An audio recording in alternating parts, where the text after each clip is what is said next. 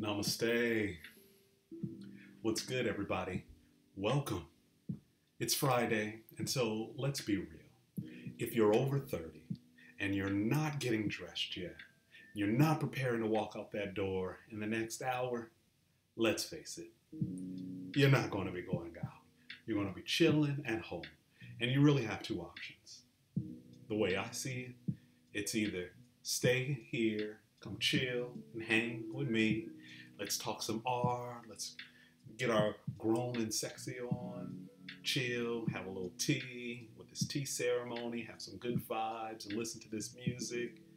Or an equally an equally appealing option, granted, maybe, is to go check out some Netflix, right? You can either you can either chill with Aumrie or go chill with some Netflix. Well, let's see what's on Netflix right now. Huh? Why don't we just see? Let me see. Netflix, pull this up on the phone. Right, so you know that Netflix got this uh, top 10 list now, so you can see the top 10 shows in each country. And so, let's see. What's coming in at number 10? So, number 10, okay. These are the top, top, top, top shows on Netflix. So, number 10, look at that.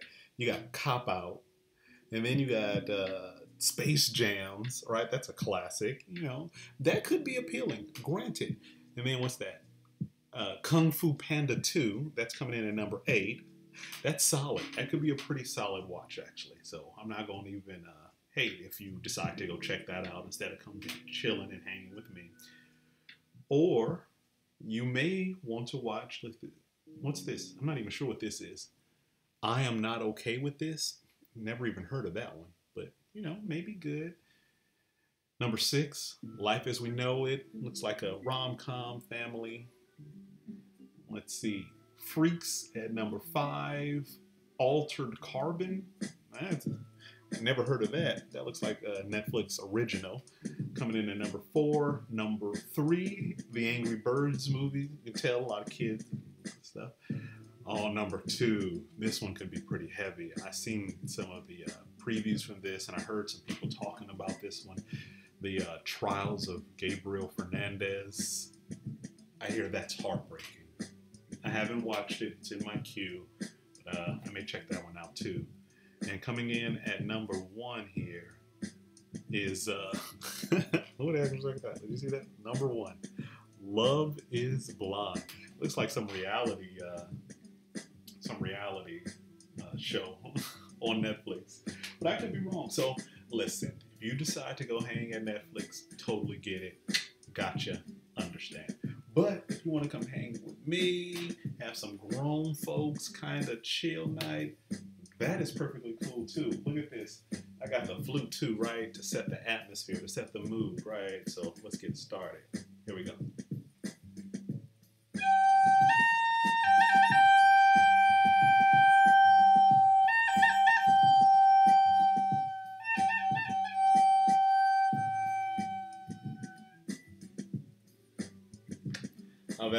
Right? Got that started. Now let's get the atmosphere going, right? We have the good sounds going, got the flute. Now we're gonna get a little sage going on in our lives. Ooh. Okay, crank up the sage. Here we go. Got that going. Purify this space because we need it, right? What a week it was, right? Seriously, so much happening in the news. You hear all the corona stuff that's taking place. So we're just going to take a moment to cleanse this space, right? Cleanse myself. Ward it all off. Leave that. And then also, we're going to double down, right? We're going to get this Palo Santo wood going too.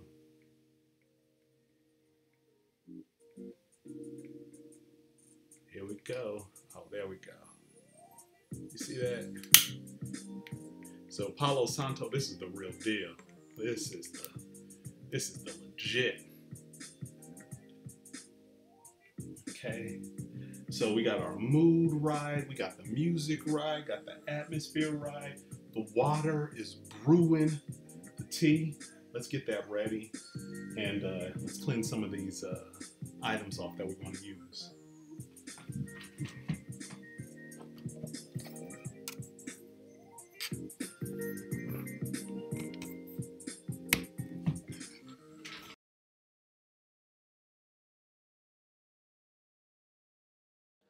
I may have messed some stuff up. I forgot to plug the mic in, so I don't even know if you heard any of the stuff that I was saying. So, but I'm back. I'm back. I'm back. Okay. So we got to cleanse the uh, stuff, right? Got to get it right. Got to polish it all up. Boom, boom, boom. Teapot, get that all ready, nice and polished up for the tea ceremony for our little sesh today. Then we got this, got the cup, right? Get that going. Perfect. Right. So down I'm gonna get the tea out. Get that ready. So tonight we're to be having some oolong tea, right? ah, that smells fresh. That smells really good right? So this is a oolong tea from Taiwan. It's loose leaf, um, partially oxidized, meaning that it's not quite uh, black tea, and it's in and it's uh, more oxidized than green tea. So right, it's right there in the middle. So we got that. I'll pull it up so you can get a good peek at it. This is the oolong that we're going to have tonight. Look at that. Look at that. Nice, nice, nice. Okay.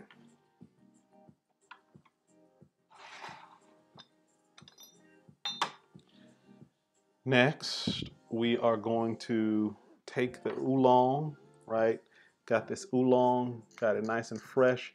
This is going to take a bath in the teapot, right? That's how this goes. The tea goes into the teapot. But before we do that, we got to warm the teapot up, and we also got to uh, uh, warm the cup up. So that's important, right? Also, I got to get the uh, little rinse jar because we got to have something to pour all that stuff in. So let me go get the rinse jar real quick.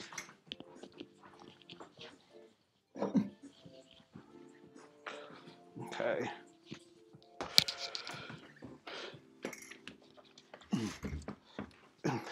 So this is what I use to pour out all the stuff that we're not going to drink. So got to have that handy because we're going to need it. All right. Okay. So let me warm up this teapot. Get that nice and going. Let me warm up this cup. Got that going.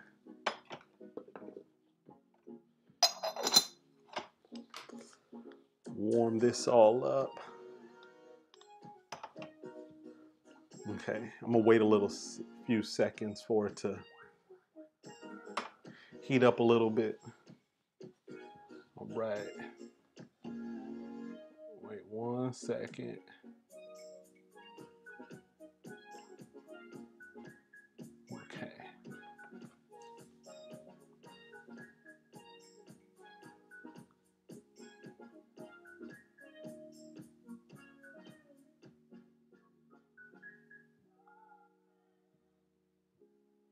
So I'm just getting my uh, screen set up real quick.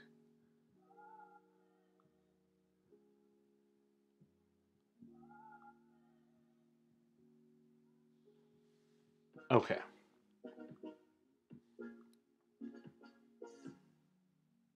Sorry about that. Okay.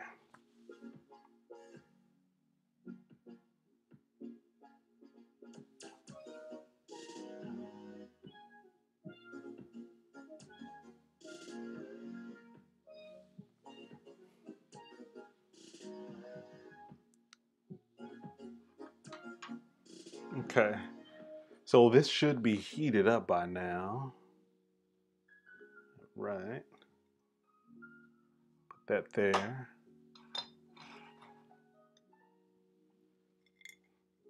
Nice. This is good. All right, so next the uh, leaves go into the teapot.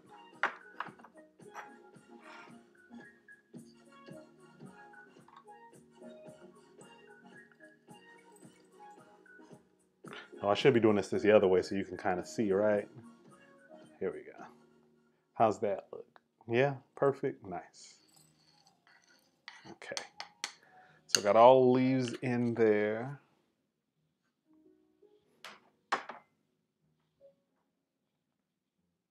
And now we're going to put some water in there just to open up the leaves, but not a lot because we're not going to drink this first part.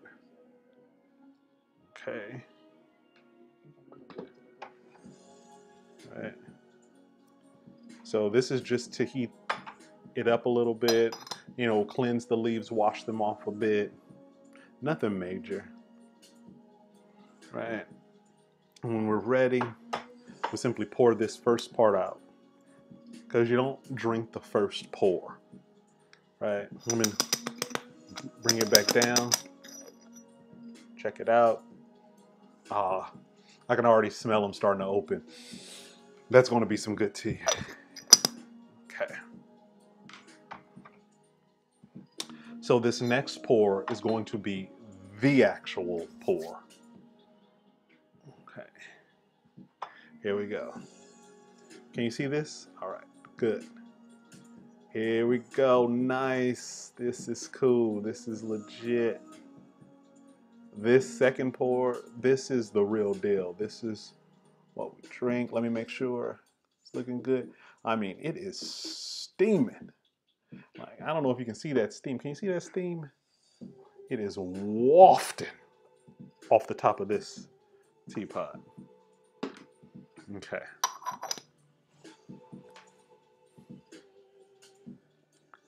So, now that we got our our water boiling, we got our teacup ready. Let me talk to you about what I'm going to be talking about today. So, I was doing what I usually do on a Friday night. I'm over there stumbling through Sotheby's, looking at some art that uh, I really can't afford, right? And I happen to come across this artist uh, in one of their showings for modern and contemporary South Asian art. And it's an art piece by uh, Nasreen Mohamedi. Now, when I was first looking at this piece, I was like, ah, man, this is this has a, like some good vibes to it, right? It, it, just has a good mood to it. I like the kind of this muted color palette that I see. I like the uh, I like the colors um, that are here in the center. This kind of teal, and right here in the middle, there's this uh, dark burgundy-ish color, right? And I like how it just kind of fades. And so I was kind of really drawn to this piece. I'm not really sure why, right? Like like any piece of art, you it it it speaks to you if it does. And so this piece, it spoke to me. And um, so I wanted to learn more about the artist. And so uh, I began looking at some more of the uh, details around it. Let me see if the, let me check on the tea, right? Let me see. Smelling good. It's almost ready. So you put the strainer into the pitcher, right? That's how this goes. When you're ready, take the tea, pour it in. Can you see that? This is legit.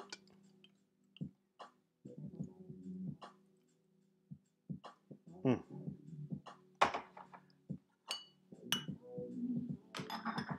Check that out. Look at that. Look at the color.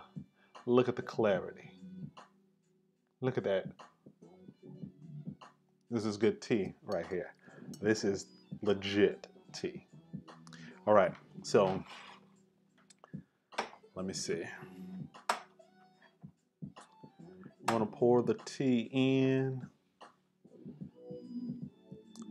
I think we, next song.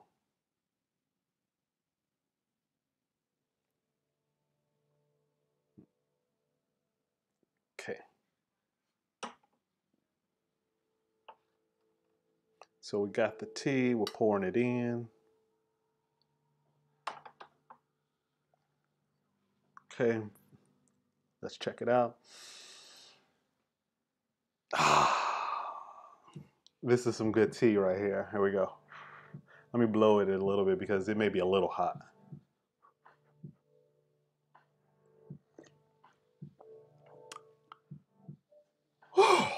that is scorching hot. Okay, let me try. Hmm, this is good. All right. You know when you drink your tea you got to do your soul dance right? That means you got to do a little rhythm you got to do a little move. So you got to find your flow right? You got to be like hey hey. Right? Okay so. Mm. that's the first pour. Very solid very nice okay i'm gonna pour the second one and let it cool a bit so i don't burn my tongue okay so while that's cooling let's get back to uh, let's get back to uh, Nasreen. So when I was going through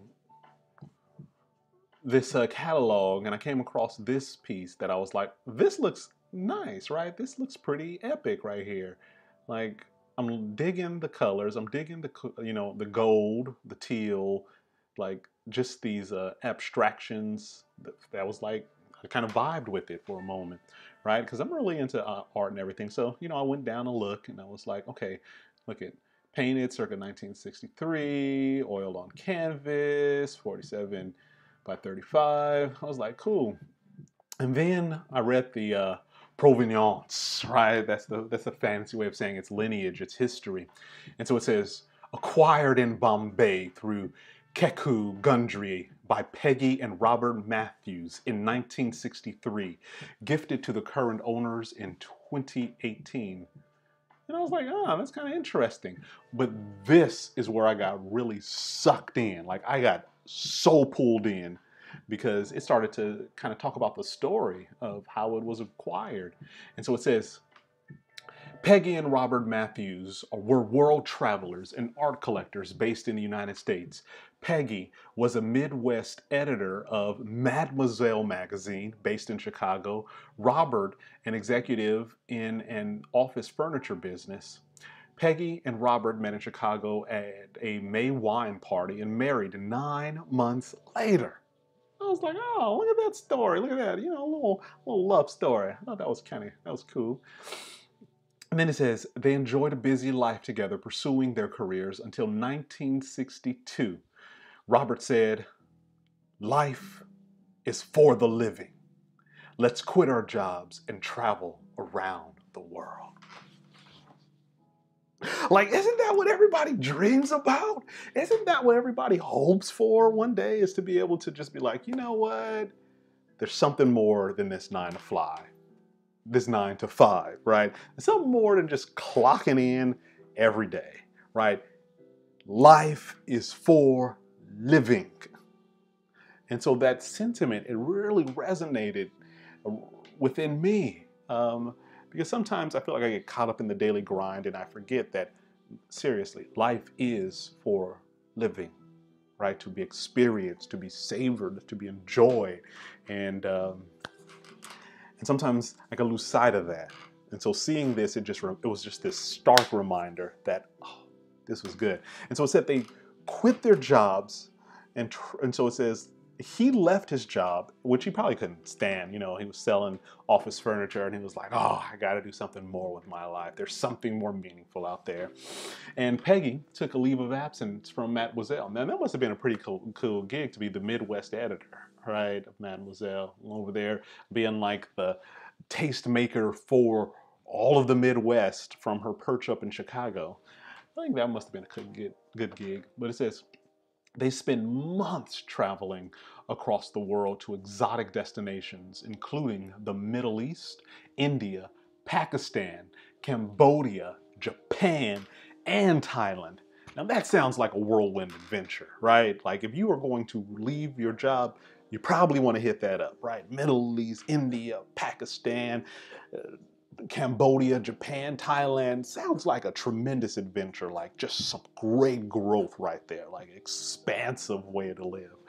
And then it says, it was in December in 1963 that they met gallerist Kekoo Gandhy. Oh, no, Kekoo Gandhy and Nasreen Mohamedi in Bombay and acquired this work, an everlasting curiosity about the world, its people, and a love for travel was something they shared throughout their 50 year married life. What? Can you imagine that? Being married for 50 years? Now, listen, the tea is cool, so grab it. So you gotta know the official way to hold the tea. Now, and I learned this when I was at the high tea room in Vancouver, of all places. Dude sitting there like a total G. Everybody else had their hand gripped on the handle. This dude, bam, index, top, rim, thumb, base. This is how you hold your teacup, right? This is the G way of doing it. Like, this is the legit, this is the lit way of doing it. And so, listen to this. They had a love for travel and were married 50 years, right? Can you imagine that being married 50 years? Namaste to that. Hmm. Hmm.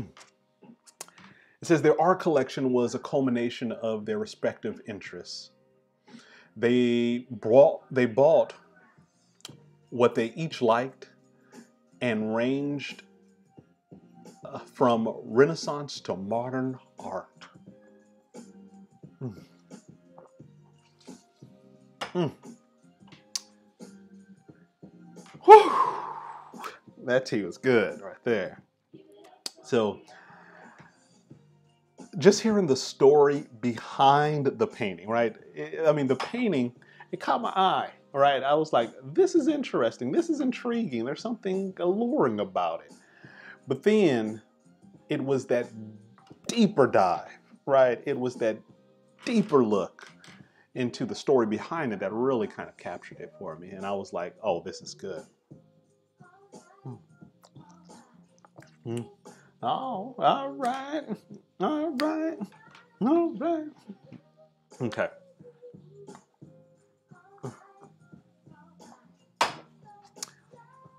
So we're going to get some more water pouring into these leaves. They're already starting to open, smelling delicious. Can you see that? Opening up really nicely. Okay. Here we go.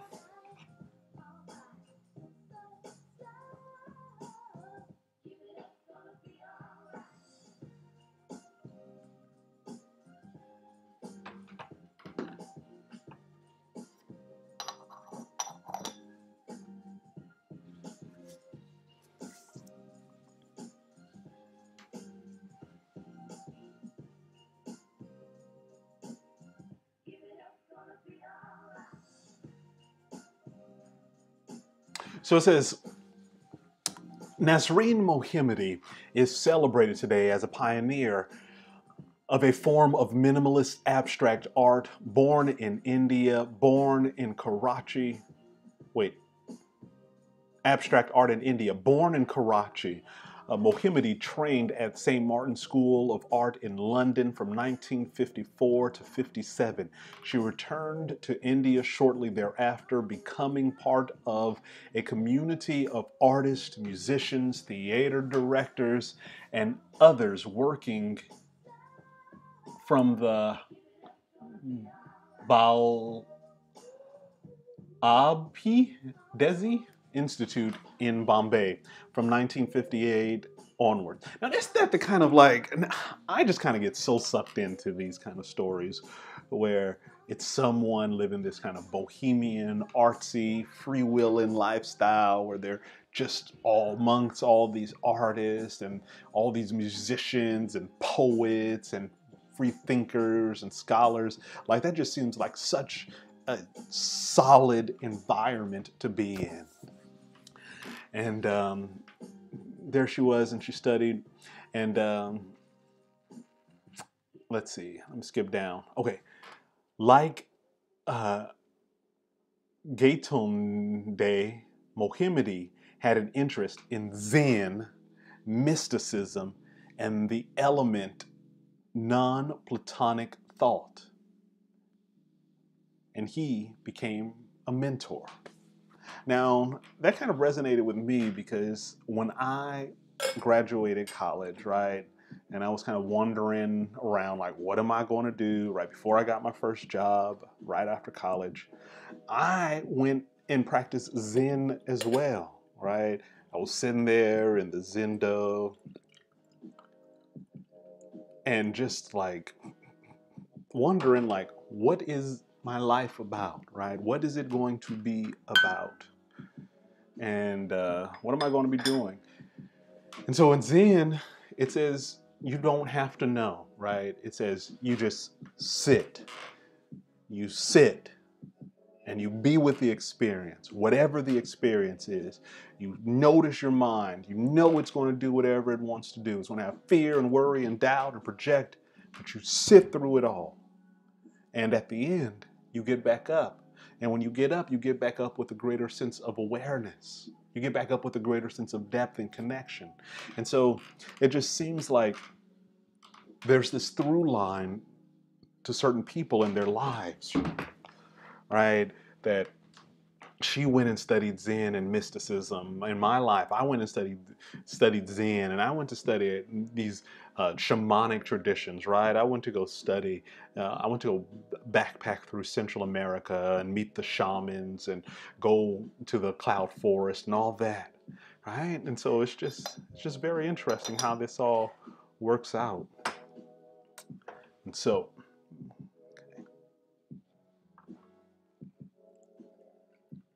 it says, in these years, Mohamedi briefly explored a linear expression and figure, though she was never interested in representational likeness, right? She wasn't, she didn't want to make realistic art, right? She wanted it, she, she didn't want it to represent something, right? It was about the feel, it was about the mood, it was about the mysticism, the zen of it all. And that's something that I think is the understory why this really resonates with me, right? Because it's about um, it's about the Zen, right? So, mm. so dance time. Wait a minute.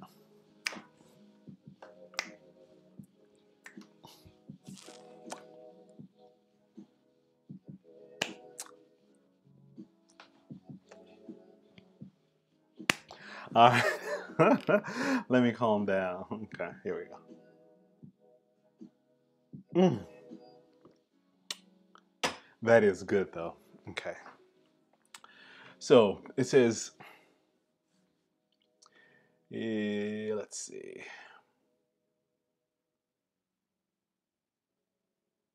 There was another good part that I thought was worthwhile. Let me see if I can find it. One second. One second.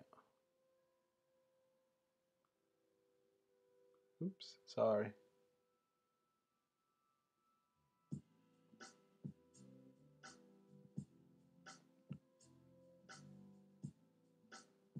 Okay.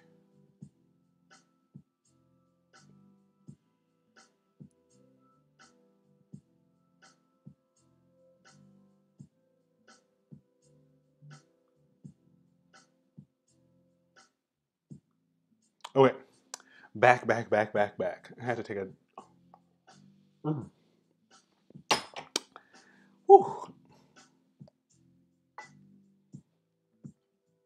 Got these Friday night chill vibes going on here.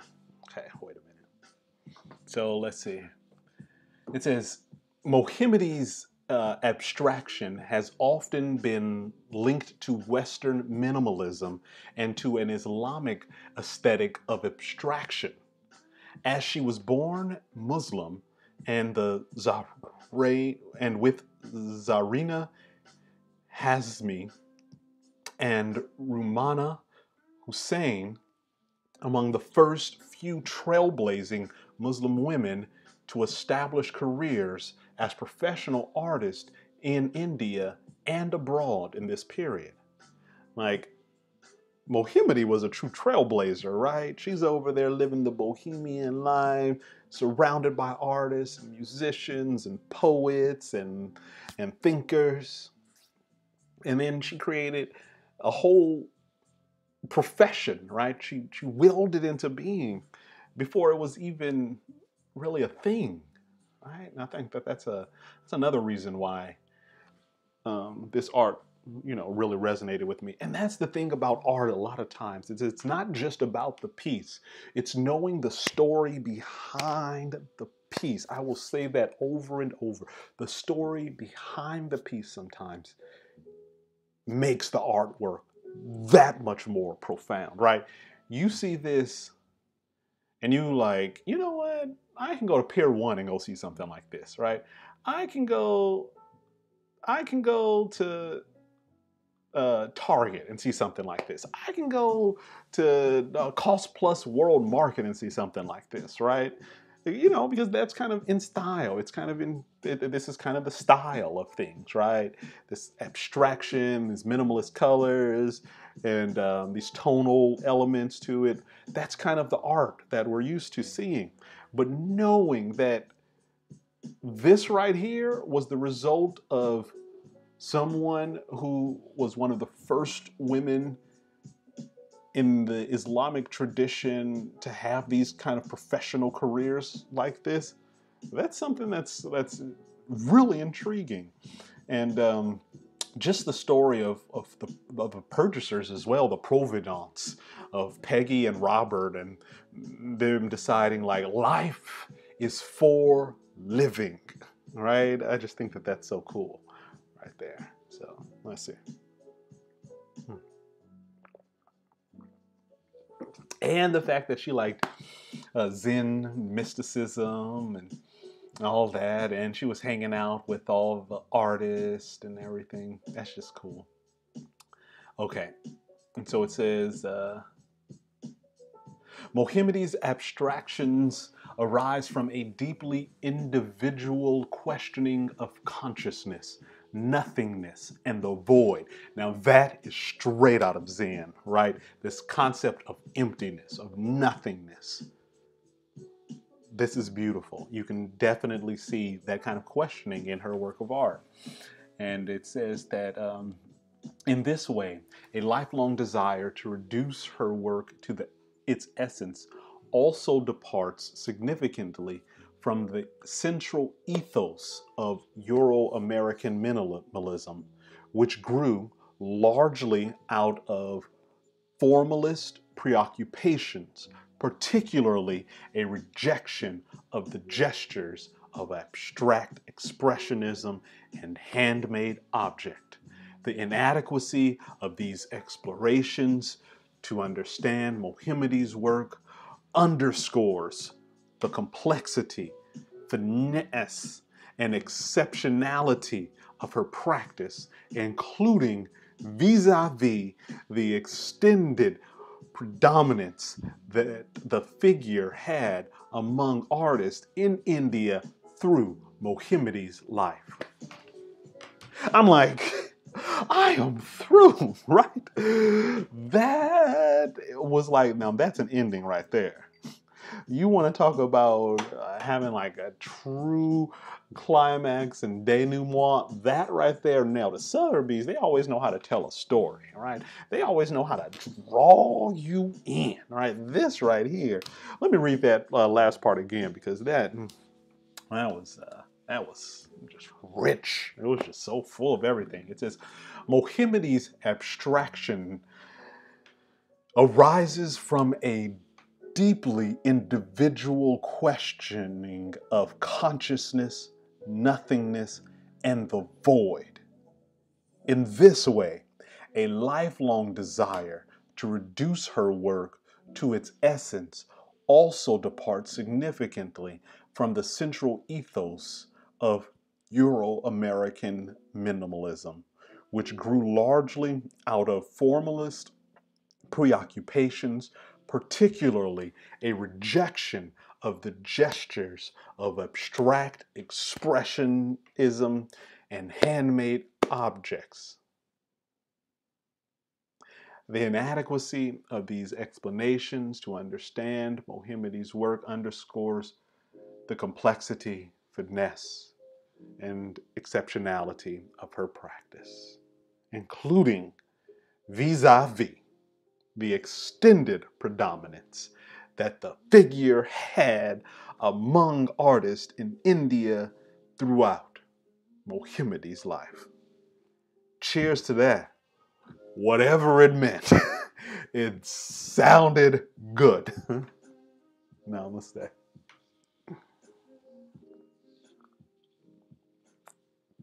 Mm. That's we got our tea going, we got our mood going, we got our vibe going. I'm gonna have to use that phrase, including vis a vis the extended predominance that the figure had among artists. That's like a mic drop moment, right? That's where you just go, including vis a vis the extended predominance, right? That just shuts down anything else. That's solid. That's rich. That's real. All right, you see the leaves? They open it up a little bit more. Okay. pouring the water in, getting the tea going. What is this? Round three? Round three. Here we go. Round three. Boiling. Keep it going. Round three. Okay. Okay. The inadequacy of these explanations vis a vis the extended predominance. Whew. That's major. Okay, so then I went to Wikipedia to look up a little bit more because right, you know, to, as soon as you want to learn a little bit more about something, you get onto the nearest off ramp, and that's Wikipedia, right? Was an Indian-born artist known for her line-based drawings and is today considered one of the most essential modern artists from India, right? That's her like opening sentence and talked about um, how her work was being received and the places it was at, the Museum of Modern Art, the uh, Kiran Nadar Museum, and the uh, Kassel and the Talwar Gallery. And so I started to explore a little bit more of her artwork, and then I started to see what this line work that they were talking about because I kept hearing these like lines, this kind of tessellation of patterns, and so I saw some of it. and I'm like, oh, this is cool. Like I'm like I'm vibing with this. This really was like just this. Uh, it was vis-a-vis. Wait a minute. What, how do I describe this? Let me see this is described as um, the inadequacy of these so I can't really explain this because the inadequacy of these explanations to understand Mohamedi's work underscores the complexity, finesse, and exceptionality of her practice, including vis-a-vis the extended predominance. That applies to this vis-a-vis these line drawings because they have finesse. Wait, what does it say? It has complexity, finesse, and exceptionality, right? Complexity, finesse, and exceptionality, including vis a vis the predominance. You just need to You just need to slurp that up a little bit and like just sit in that, marinate in that for a moment. But look at this. I mean, it's it's cool, right? This is like this is like solid. Oh, I forgot. I'm not supposed to touch my face, right? You, I don't know if you guys heard like all the uh, COVID 19 things. You're not supposed to touch your face and everything. So, got to remember, like, not to do that. All right. So, um, let me pour this tea out. Oh, oops. I was supposed to pour it into the pitcher. Why didn't you guys remind me? I'm over here messing up. I think it's because I'm so, uh, like, into the uh, description vis-a-vis the extended predominance. All right. Okay, so let me go. So I started looking up the artist on Twitter, right? And so uh, look at this, celebrating the Indian woman, uh, Nita Ambani Powers, uh, Nasreen Mohamedi across India's Twitterati. Mm-hmm, like this. Oh, she was exhibited at the uh, at the Met. Uh, look at that. What was that? 2016. Oh, so I'm a few years too late, right? I'm, I'm kind of like really big popping, but I'll look at some of these works. These are pretty cool. Nice, nice, nice. Okay, okay. I'm digging it. I like the vibe. Like that, like that. Cool. Hmm. Let's see. Don't miss. So she's among a lot of these. Oh, look at that. That's cool. Oh, wow. Nice. Hmm. So a lot of uh, a lot of art. Uh, closing soon. Nasreen Mohamedi's Au revoir. Is that how you say that? Oh, adds a rich layer to the history of South Asian art. Are you vibing with this? Like, you like this? I mean, it looks pretty cool to me. I, uh, I like this. It's cool.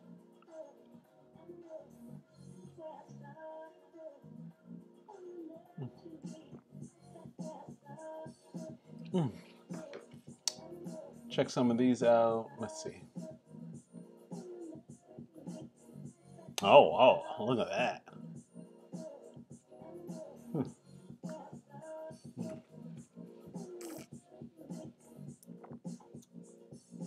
Look at him. When he said in 2016, looking forward, he looking too forward to the exhibit. I know he was. That looks good.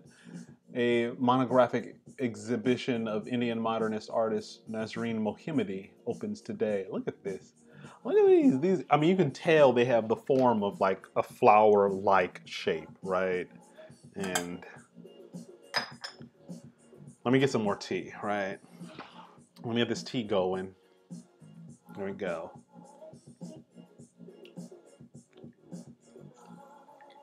Okay. Let me get the grip going. Right, got the proper grip.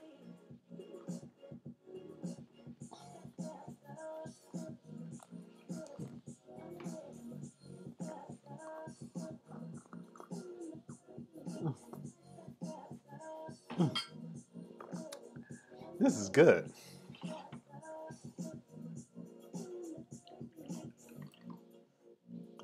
Okay, let me see.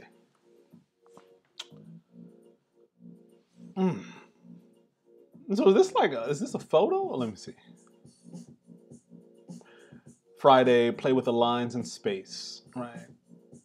Okay, I do get this concept of lines and space here, right? In the middle, running through, you have this um, cascading or undulating line, right? You have the wave patterns in the sand, and then you have the wave patterns in the uh, in the lake or the body of water, right? I can see this interplay of what did it say of line and space, right? There's a clear delineation in space. You have the water formation up top, you have the land formation up in the bottom, and they kind of meet in the middle, right? They kind of form that yin yang kind of symbol right there, right there in the middle, right there. And uh, kind of, I'm vibing with that. I like that. That looks cool. Let's see.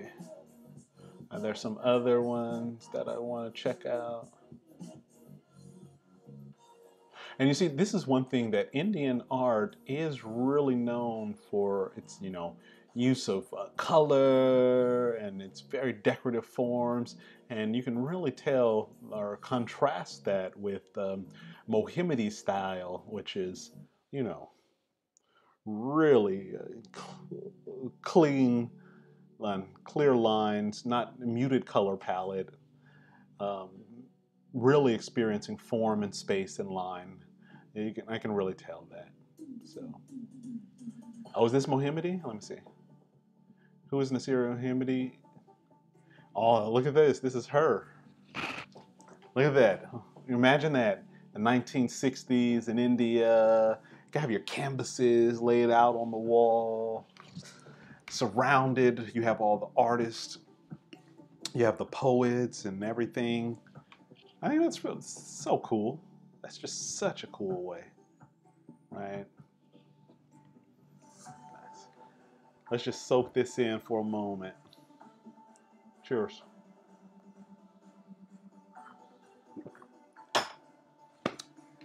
Okay.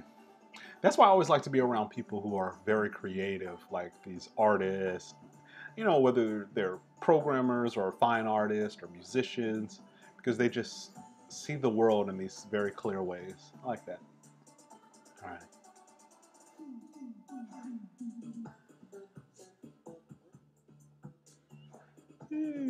Hey, more. Look at this. Lots. You can definitely see the lines. Look at that. That interplay of lines. This work is solid. I'm really, the more I see um, Mohamedi's work, Nasreen Mohamedi's work, the more I am falling into it. You know, the more I'm getting excited about it, right? this is like serious. And it all started because I was browsing through those Sotheby streets, you know, and you know how those Sotheby streets can be. And I saw this image, right? I saw this painting that really spoke to me, right? It really said, hello, right? And it, it, that's how I feel. Like, it was like, hey, you know, because there's so many other paintings that I was browsing through, and this one was like, hey, and I was like, hey, and the painting was like, how you doing? And I was like, I'm good. How you doing? And so me and the painting, we had like this exchange. We had this moment. I was like, I like your lines, and the painting was like, what about my form? And I was like, you know, I dig that too, you know. so there's a real um, there's a real appreciation for this painting that I had, and then like I said, reading the story behind it, right? Reading this story about uh, Peggy Lee and Robert Matthews and this life. look at this. I'm gonna put this right here at the top so you can see. Life is for living let's quit our jobs and travel the world. You can just imagine, you know, I just imagine, you know, Peggy and Robert, they have this like this life. They're living this luxe life. She's the editor at this ma- magazine. He's this executive at the furniture company. And, you know, he was like, darling, darling, my darling Peggy, my snookums Peggy. You know, I just imagine him as being like, I don't know if you know um, Thurston Howell from uh, Gilligan's Island, when he had that voice, love, darling, darling. Yeah, I can just imagine him, you know, sitting in his like smoking jacket or something in their Chicago um, home, being like, "Darling, my darling Peggy, life is for living. Let's quit our jobs and travel the world." And you know, Peggy was like, "My dearest Robert." Of course, I will travel the world with you. Where shall we go? And then I can imagine uh, Robert looking around at his globe because he probably had a globe in his office. And he was thinking Paris. And Peggy was like, no, not Paris. And then they were like, Sydney. And he was like, no, not Sydney. And then they were like, Rome. No, not Rome. Did that too many times. Let's go on a true adventure, my love. Let's go live life. Let's go to the Middle East, India, Pakistan, Cambodia, Japan, Thailand. A world of exotic destinations. And Peggy said, I am leaving the Midwest and we shall travel the world. Right? And it's just like, that is just such, I mean, that story right there, it just kind of sunk into me. And, you know, that they were married 50 years. Okay, okay, so this is the part that I want to get to. So there was an exchange of letters that are included in the sale of this, right? And listen, if you want it, you only have nine days left. I, and look at it, USD, 200 to 300,000 USD. Listen, if I had two to 300,000 just laying around, I would definitely be like, you know what? Given this, this is worth hanging on my wall. But with the story that's behind it, wait, okay, if the painting is worth 200,000, the story alone is worth another 100,000. The story makes it worth that 300,000. I think it should go on the higher end just because of the story, even though it's untitled. This story right here, this whole story that I read, this uh this uh story of uh, Peggy and Robert Matthews, who traveled the world, and Robert, who said, Life is for the living. Let's quit our jobs and travel the world. Snookums, right? That is, that's so interesting, right? And then the places that they went, they're just like, he was like, I'm not doing the pedestrian, we're not going to Canada, we're not going to Niagara. We are going to India. We're going to Japan, right? I just think that's really cool. And um, then, like I said, this ending right here, the way they end, this ending alone is worth a good 15,000, right? Because the way, I mean, it's like lights out, right? This ending right here, okay. Let me read it one more time. The inadequacy of these, no, no, I need to go back one little oh, one. See, I gotta get this other part. There we go. Particularly, a rejection of the gestures of abstract expressionism and handmade objects.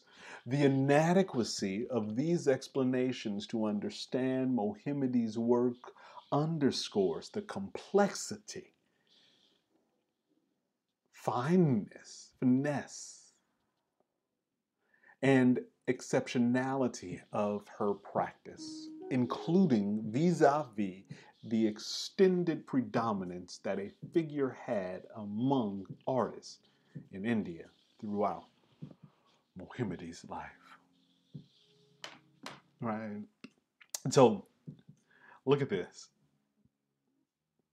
Uh, this letter. So, this is a letter that Mohamedi wrote Peggy. Look at that. So December 30th is when it was written. And so Mohamedi is the artist, Peggy was the buyer. And it says, ah, let me get some more. Let's see, what is this, round four? Okay, we'll get this water going for round four. Leaves, leave check, leaves are good, okay. Got the water. Okay,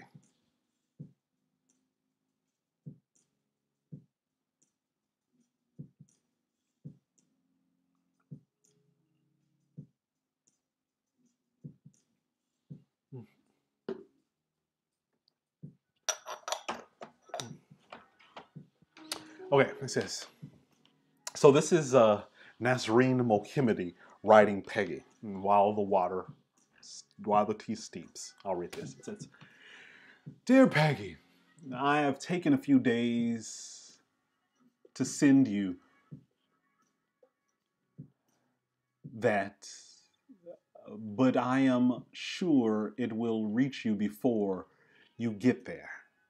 I love her. Uh, I, don't know if these are like commas, like the way she draws these lines is like, like an extended period or like or maybe it is an m dash or a dash but they're, they're kind of lower and i just kind of like that. It just says okay okay reach you before you get there. We hope right? So oh i guess she's talking about sending the painting?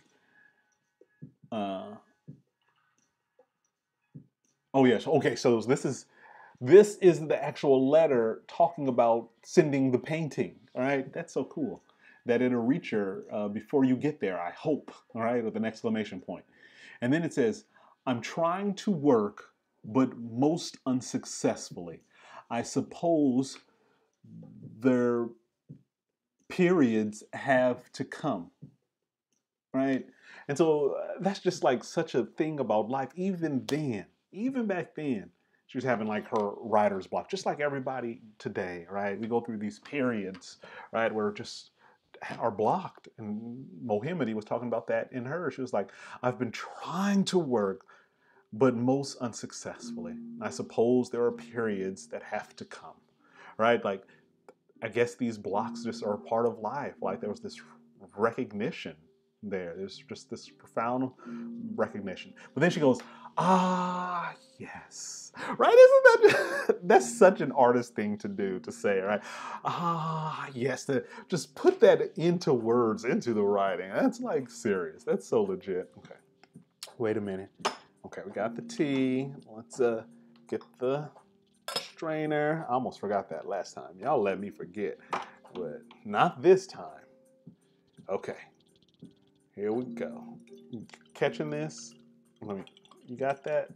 You see this? Here we go.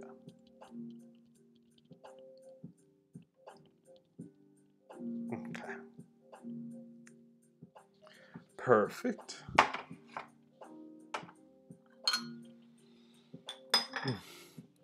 Okay.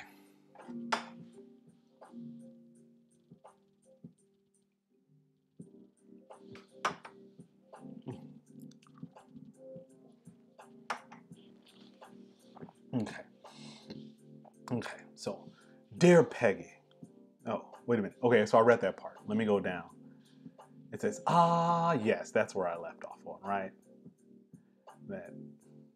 I mean, because I had an art history teacher when I was in school, and she would go, right?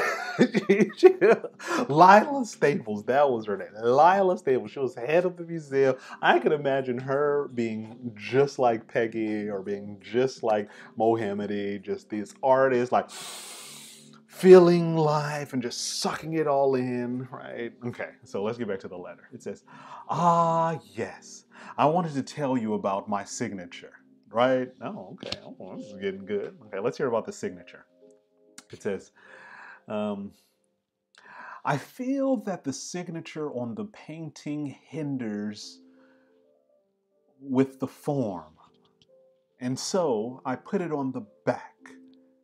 No, I'm sure Peggy. Okay, so I get it, I get it, I get it. So let me explain this. So Peggy probably saw the painting, was like, I like this painting. Let's let's get let's get it, right? And then she was like, Can we get it signed? And uh, uh, was probably like, "Oh yeah, yeah, I'll sign it for you." But then in her little note, she was just like, "Listen."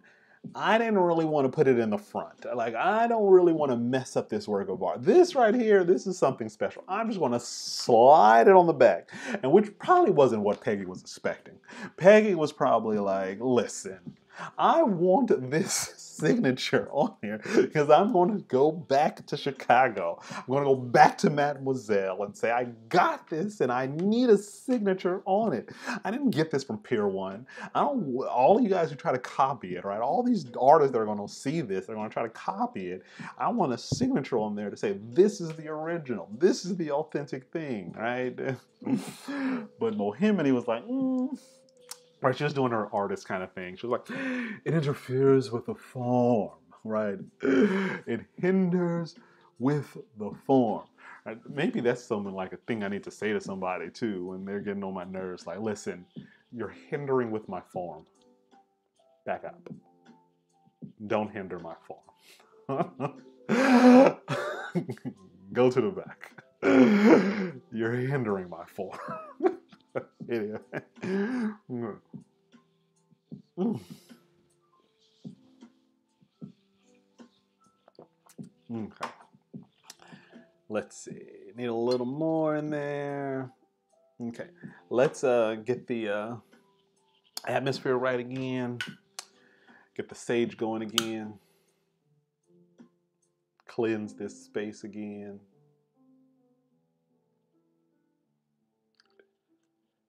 Okay. Mm. Mm.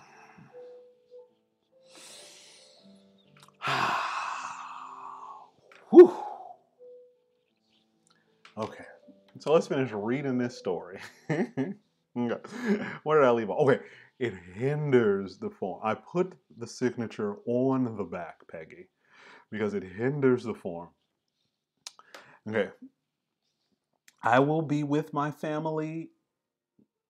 Let me see. What did she say? Uh, hinders the form. Okay, hinders the form. So I put it on the back. Okay, I will be with my friend in Turkey. Is that what it says? Turkey? That's great. You know what? This is kind of how artists and rich people talk. Like they talk about conversations that they had in a new location, right? They, like that has to be part of the conversation where they are, right? And they're like, listen, I will be in Turkey talking to my friend, and I'm definitely going to start using these dashes, like extra long dashes in my letters, right? Even though she has really nice handwriting, but I'm going I want to start using that, right?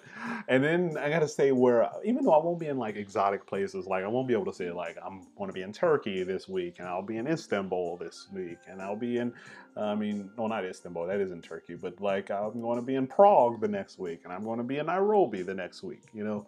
Like probably like she's saying, I'll probably like I'm in LA this week. Maybe I'll be in Westwood the next week. maybe I'll be maybe I'll be in downtown. Like I'm gonna start putting where I am in the city in text messages, right? I'm gonna be like, listen, I got your message. I'm in downtown. I may have to get back to you when I'm on the west side. All right. Like, or listen, I'm in the South Bay. When I get back downtown, I will get back to you. like, I'm gonna start putting the destination, where I'm going or where I'm at, in my text messages with this giant dash in tribute to Mohamedi. Nasreen, I am just gonna channel your artist vibe right here.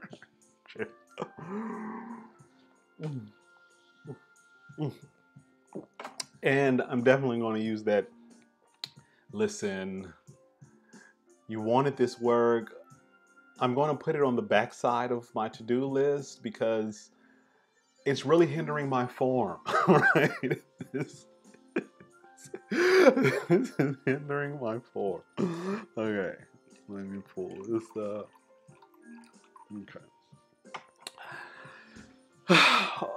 this is, I'm telling you, these letters, they're just chock full of just like artist isms. Like uh, this is so how they speak. This is like I can so see this with these kind of gallerists and art people today. Like they always talk about where they are and their travels. Like that is a part of the conversation. Like, listen, I remember I was somewhere. Uh, who was I talking to? Oh, someone she was like, I'm in London. I cannot possibly wait. I've just been on a nine hour flight from London. I'll be in Paris and I can't possibly get back to you. I'll call you when I land in Dubai.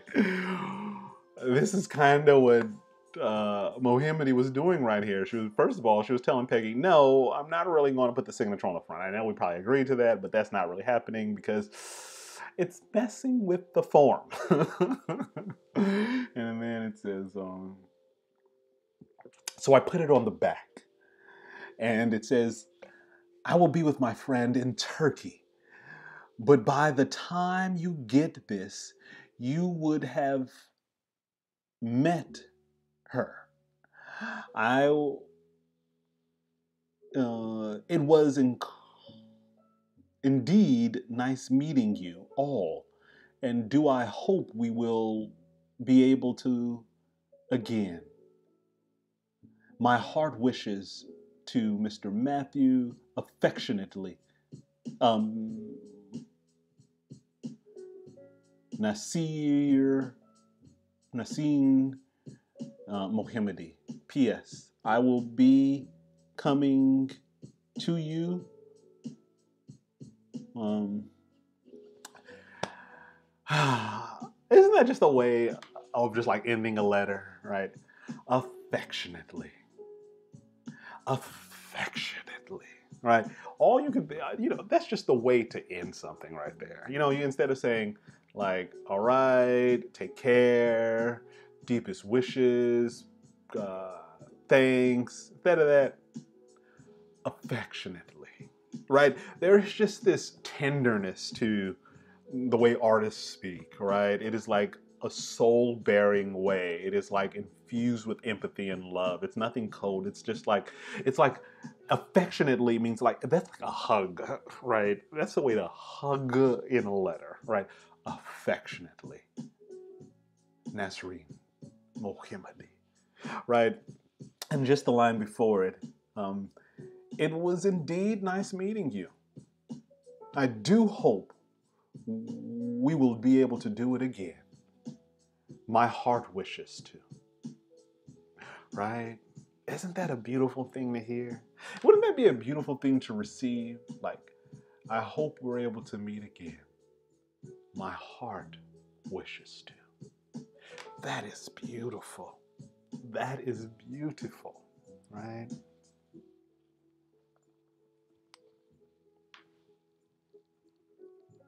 Mm.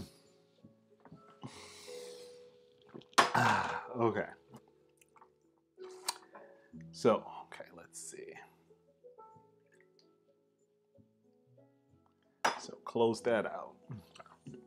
Okay. So, what do we say? Okay. So, some takeaways from this, right? When you have something, when somebody wants you to do something, you may have to tell them, listen,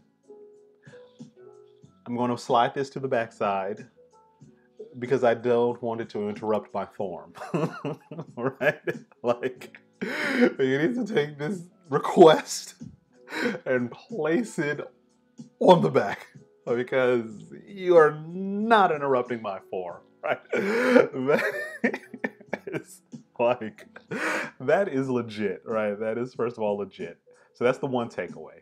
The second takeaway, these giant em dashes, like these are the best kind of punctuation. Like there's nothing more satisfying than this to me visually because a period that does just doesn't do enough, right? You have an exclamation point that, you know, really exclaims. You have a period that just kind of, you know, punches it in. But this dash, this Lord em dash, this is legit, right? that just like, it's like a transitional, right? It's like it carries one thing to another. It separates the ideas, right? Like, what did it say? I have taken a few days in sending you this, right? But I am sure it will reach you before you get there. We hope. oh my gosh, this is such an artist like thing. Mm, mm, mm, okay. Okay. And then the other thing, the other takeaway was um, I will be meeting. Oh, I will be with my friend in Turkey. But by the time you get this, you would have met. Right? Isn't that just putting the location of things into the conversation? I think that that's such a key takeaway. Even in your text messages, right?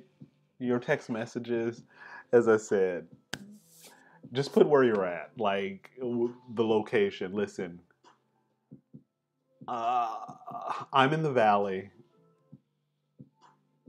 I'll get back to you when I'm out near the beach. Something like that. Let's say. I'm in Echo Park, but when I reach Venice, we can chat. I, I don't know why I get it. that to me is so interesting. Okay, but anyway, okay. Let's see. Let's see. Let's see.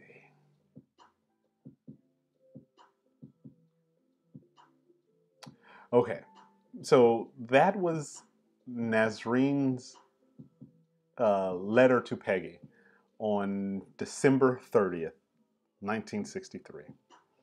Right. Okay. And the response from Peggy. Oh, look at that. She put it on the Mademoiselle stationery, right? She made it official. She was like, oh, let me send this back. Uh, that is the one thing about emails is that they don't have this kind of station. Emails should have like official, legit stationery. Like Gmail, when I send an email, at the top, instead of that to from, it should have this nice heading. I don't know if I can highlight it here. No, it doesn't highlight. Uh, but it says like you see how it says right here? Where'd it go? Oh, there you go. Uh, Mademoiselle, 65 East South Water Street, Chicago, Illinois, 60601. State 2 4780. Hmm. It's interesting. I wonder what that state means, but it goes uh, uh, Ms. Nasreen Mohamedi, care of Asraf Brothers, Bahrain, Arabian Gulf. Isn't that some Bahrain, Arabian Gulf? That just sounds like ah. Well, just to be able to send an international letter like that, isn't that kind of nice? Let me get some more tea. Let me get this tea going. What is this, round five? All right. Okay. So we are in round five. Okay. Ooh. All right. okay. Letting that brew. Okay. So where were we? Okay. So we're reading the letter. So we read the letter from Nasreen to Peggy, and now Peggy is writing back to Nasreen on Mademoiselle Stationery to her care of the Asraf brothers in Bahrain, Arabian Gulf. Right? That just sounds like something epic right here. Like I have to draft this letter to the Arabian Gulf. Right? That's legit. Like if you are talking to someone in Dubai, in Qatar, right? That is like serious dealings, right? Okay. So let's read what the letter says from Peggy. What did Peggy say? I'm going to try it in my best Peggy voice. Right, here's going to go. Dear Nasreen, thank you so much for your letters of December 30th and February 21st. Oh, they sent two letters. So we only got to read the one. We didn't get to read the second letter. We didn't get to read this February 22nd, 21st letter. That's interesting. She said two letters. All right. Uh, now I'm curious about what the second letter said. Okay. But anyway, it says, okay. Thank you so much for the letters of December 30th and February 21st. I am terribly sorry about my delay in answering. We didn't arrive back in the United States until the end of February and I immediately started back to work. That, coupled with trying to get unpacked and settled in from our trip, has caused delay in my reply. that is so like uh, what you know. People always use like the travel as the thing. Like, listen, you can't really be mad at me because I was traveling. Like, travel is like the best kind of excuse, right? In staying like, I really couldn't do this because I was traveling. Like, that is like an acceptable form of why stuff couldn't happen, right? Because I was. I was traveling, and then I was unpacking, and then I was settling in, and then I had to go do something else. But I am doing this now, right? And it's like, ah, yes, I understand. Right? If someone just told me, like, you were late, like, I was late, but I was late because I was just on a 14 hour flight from Sydney. I'm like, oh, okay, well, yeah, yeah, you probably need to adjust, right? Time change and everything, you know, jet lag. All right, I got it. Chill. But, okay. Peggy goes on to say, we loved seeing your handwriting, and most of all, we loved getting word from TWA that our painting had arrived. We love it just as much as when we purchased it from you on Christmas Eve. Oh, isn't that special? Christmas Eve in where are they in the Arabian Gulf? I don't know where they purchased. Oh, she was from India, but maybe she was. Well, she, she's in Bahrain. She was in the Arabian Gulf, right? Can you imagine that Christmas Eve in Bahrain in the Arabian Gulf? Wow, it's interesting.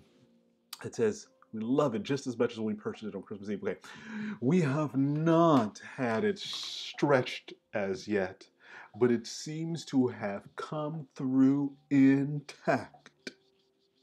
Yes, darling, it is all intact. Okay, it says, Mr. Matthews. Isn't that something? She refers to, uh, she doesn't refer to him as Jim. What was his name? Was it Jim? I can't remember if his name was Jim. Let me see if it was Jim. Let me see. It was Robert. Was it Robert? Peggy? Robert. It was Robert. Yeah, Robert Matthews. She said Mr. Rob Matthews, not not Robert. Okay, that was very formal. Okay, let's see.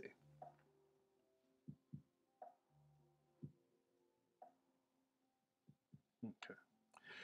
Mr. Matthews and I were not able to see your friend in Istanbul as there had been a very bad snowstorm. Oh, wow. Snowstorm in Istanbul? I didn't even know it snowed there. Shows you what I know. Okay. And we only stayed in the city for one day. We will have to return to Turkey someday when weather and political conditions are better. Oh, it must have been like some something going on, right? Peggy, Peggy told Robert, "It is time to continue our travels." They were like, "We are not staying here." we are not staying here. we could only stay for one day. oh my gosh. They were probably looking around, and it seemed a little politically unstable in Istanbul that day, and they were just like, you know what, Robert, we need to go. and Robert was like, yes, Yes, Peggy, I agree. We need to go. One day is all we need. Okay. All right. And so then it goes on to say the painting did cost a great deal of money to send, but we are very happy with it and want to reimburse whoever paid for the shipping as soon as you tell us whether we should pay you or Miss Vina Dalla at SITA World Travel. We will send the proper check. As nearly as we could figure in the United States dollars, it will come to $17.85. Can you imagine that being a great deal of money? Right? $17.85. I wonder how much that is in US dollar. Like like I mean in inflation calculator. Let me see. Let me see what Let me see what the inflation on that would be. $17.85. Let's remember that. Okay.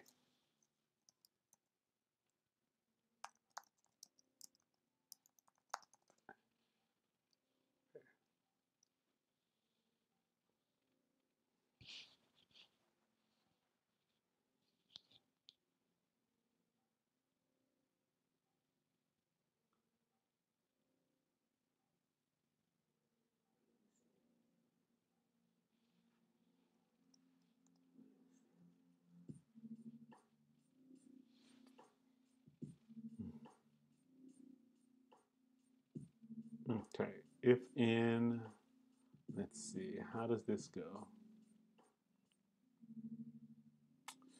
Okay, if in entry year 1963, was it? Okay, we want $17.85 in 2020, calculate. The item would cost $150.48 Cumulative inflation, 743%. Wow, can you imagine that? So it would be a great deal of money, right? If it cost $150 to, to ship something, right? Wow, $17, like $18 was worth $150. That's insane. That's wild, right? Okay, let's continue with a letter.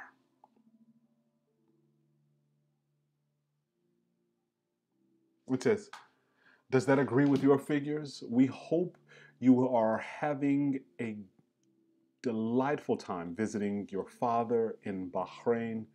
Are you going to live there now until your marriage? Wow.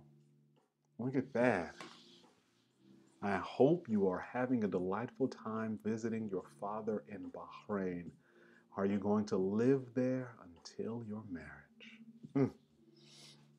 It says, Mr. Matthews joins me in wishing you the best and wants to convey his own pleasure in having your painting. Please drop us a note so that we can get the shipping charges taken care of. With warmest personal regards, Mademoiselle Peggy Henry Matthews, Midwest editor. P.S. We loved meeting you and hope that you will be able to come to the United States sometimes.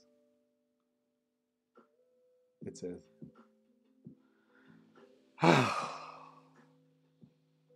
now, if that isn't just satisfying, let me just take a moment to just soak that all in.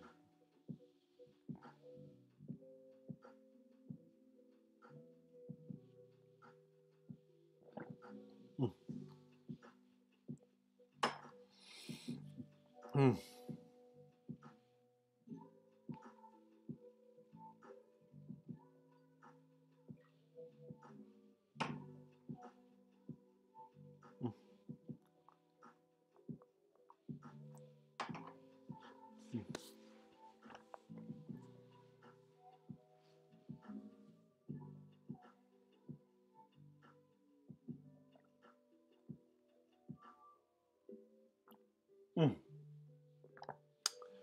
Whew. Delicious.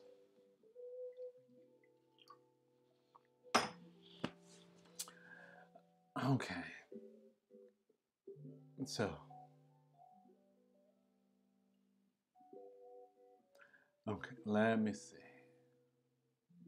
What was next? Okay, so we looked at some of uh, Peggy's work I'm not Peggy, but um, Nasreen's work on Twitter, right? Saw the lines, saw the post about it. We we've taken in some of the um, exchanges in the letter. Oh, look at this, Nasreen. Hello, Nasreen. We adore your work. Absolutely stunning work. Well done. Well done.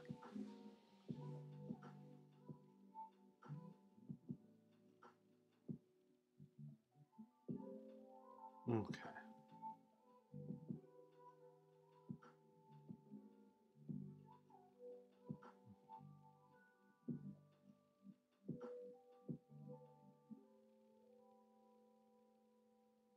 Okay, so let's continue on. So Nasreen's work was shown at the Met. Look at this in uh, 2016. 2016. Well, let's read what this catalog has to say. It says exhi- exhibition overview. One of the most significant artists to emerge in post independence India, Nasreen Mohamedi, 1937 to 1990. Wow, what a life there. Created a body of work that demonstrates a singular and sustained engagement with abstraction.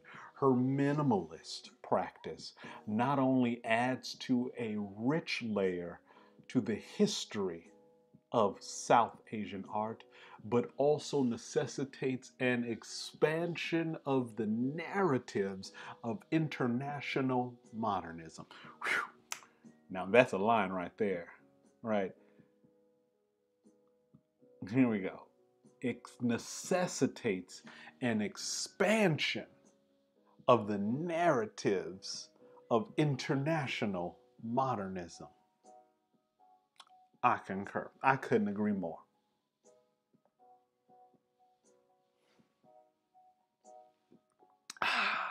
okay. Hmm. Okay, let's see.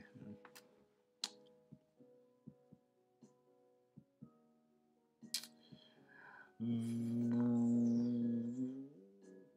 and then it has uh, some of her work in this video. Thought that was pretty cool. Okay, and then look at this, Nasreen Mohamedi. So these are artworks by the artist that are. Um, I think these are works that are already that are currently on offer, like different ones. So this one bidding is closed, but look at this. Man, that's pretty cool. Right? Like that. Like that, like that. Has that kind of lo-fi kind of feel to it. Doyle, post-war, contemporary. Bidding closed. Okay. Let's see, the bidding is closed on uh, this one as well, but let's check out this one. This is um, one of her lines and spaces. Uh, you can really tell that. So uh, look at this black and white photograph. The Metropolitan Museum of Art. Well, that's pretty cool.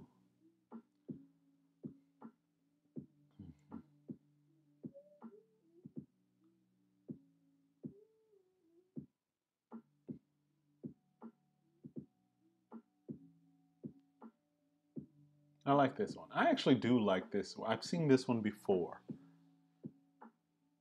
And I liked it. I saw it before as well. Nasreen Mohamedi. This one's at the Tate. Look at that.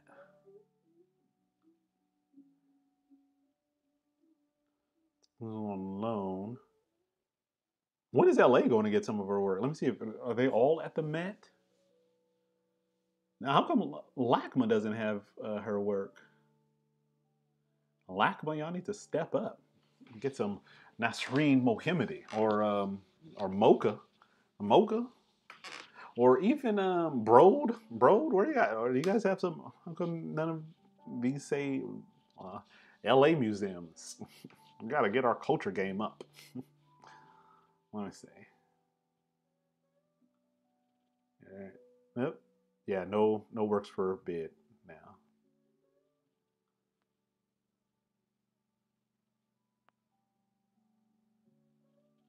Oh, look at all these.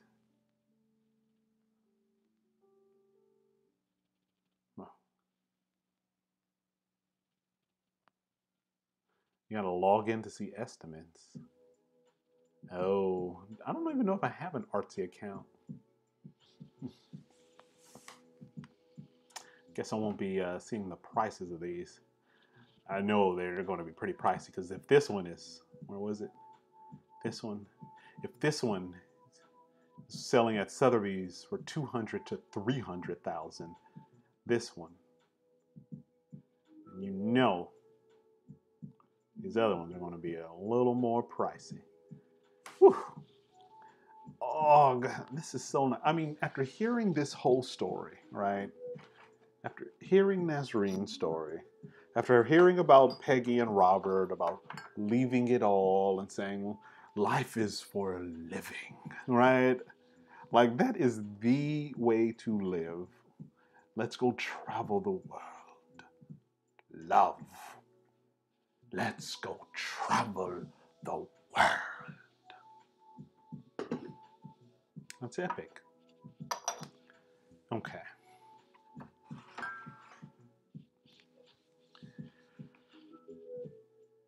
Hmm.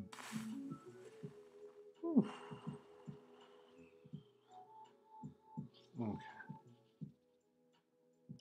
Let me see. What else do we have? Yeah. So I think that about wraps up our time. We'll do one more cup of tea and we'll just take in the flavors of Nasreen's work and um, you know maybe you will decide like ah yes i need to see this on my wall like this work by nasreen mohamedi after hearing these letters right that story alone or that life philosophy alone from peggy and robert the letter exchange between nasreen and peggy that alone is worth the price like that alone is worth the price. Seriously. Okay. Let me pour this last batch out. Last batch out. Last batch, last batch, last batch. Out. Okay.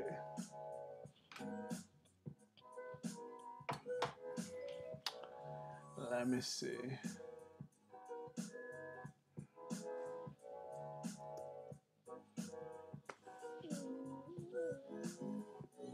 If everything is okay.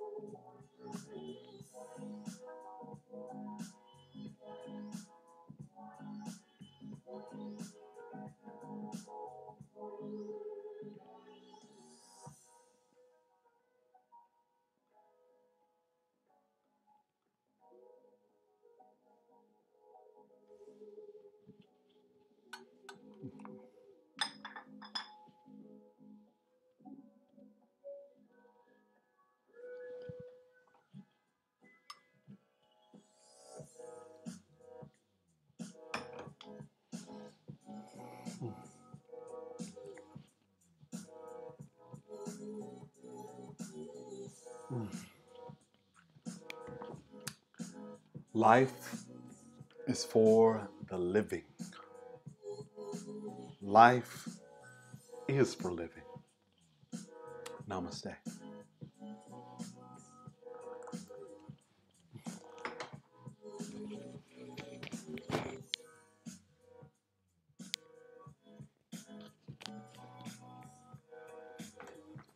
Time for a soul dance.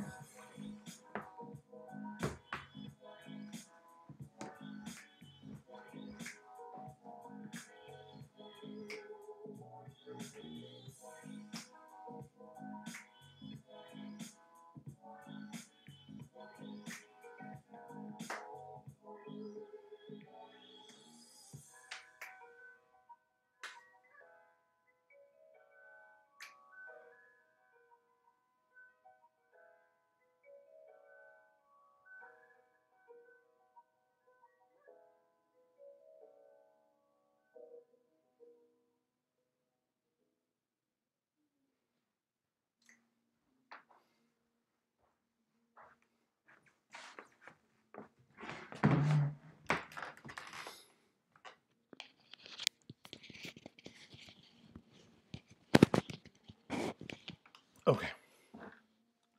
All right. Okay. All right, all right, all right.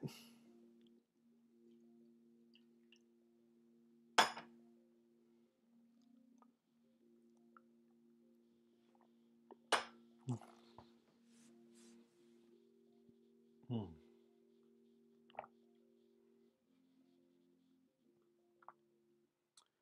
So,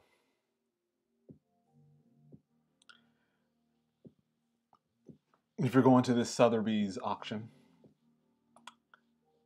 nine days, Nasreen Mohamedi, two to three hundred thousand. Catalog note. Such a feeling of space, open, intense green, black, strong, glitting wires creating drama as one moves along, patterns of gray, drops of intersecting. Mohamedi extracts from Nasreen Mohamedi's Dyer's drawing space, contemporary Indian drawing, Institute of Visual Arts. Also, that's is is that a poem from her? Oh, from her diaries. Oh, okay, okay, okay, okay. So that's what we should be drawing from this. Okay. Feeling of space, openness, intense green, black, strong, gliding wires, creating drama as one moves along, patterns of gray, drops of intersecting. Right? Oh, such a feeling of space, open, intense green.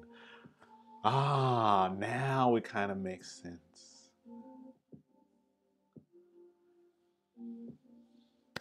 Feelings of space, open, wide. Doesn't this feel open and wide? Like it, it, it has this sense of being open.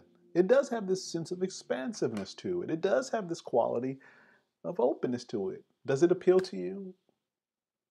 Would you see this hanging on your wall? Like literally. Like in all honesty. And if so, which room? Like this kind of feels like a dining room piece. I don't quite know if it feels like a living room. Right to me. I don't think this is living room. This is like dining room or foyer, foyer, foyer, right? It's like an entry, right? Because it does have an invitational quality to it. It does feel open. It does feel spacious. And um, but it doesn't necessarily seem like focal, right? It doesn't necessarily mean it isn't like screaming, "You must look at me and be consumed right by me." This isn't the one that hangs over the mantle, right in the living room. This isn't the one that hangs in the bedroom, right? Those are a little less. Those are you know a little more welcoming, a little more inviting. This has that kind of sophistication, that openness, and invites um, deeper reflection. And I think that often takes place over um, dinner conversations, right? I could just imagine having a dinner party late into the night on a Friday night like this and hanging this in the dining room, saying, oh, yeah, this is a Nasreen Mohamedi, 1963. In Bahrain, the Arabian Gulf produced this exceptional work of art, bought by Peggy and Robert. Phenomenal, right? Phenomenal let's just take a moment to uh, drink our tea and sip this in, right? Mm.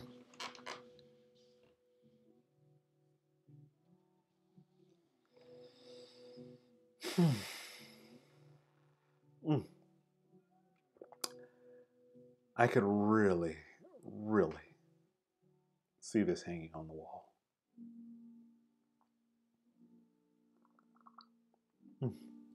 As a matter of fact, I'm going to make myself a promise that one day I will have a Nasreen Mohamedi hanging in my dining room. Maybe it will be this one. Maybe it will be another one. But I'm going to make this goal today, right? Let me get this. Let me get this tea. Let's make it official.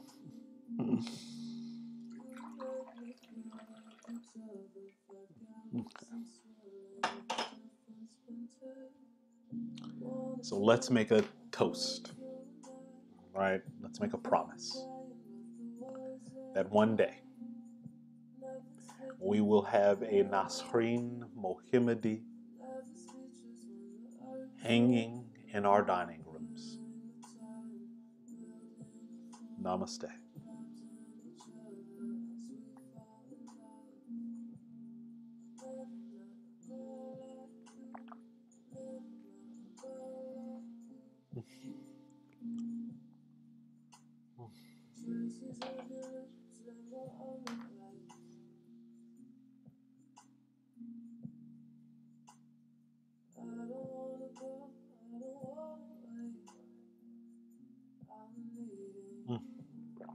Exceptional. Anyway, so uh, that was our time together. It was nice hanging with you. Now you still have time to go uh, check out, you know, some Netflix. But uh, hope you enjoyed it. Right? Thanks. Thank you, uh, Stark eighty. Appreciate it. Anyway, enjoy your nights. Enjoy. Go browse some art check out some more Nasreen Mohamedi. All right, everybody. Take care. Namaste.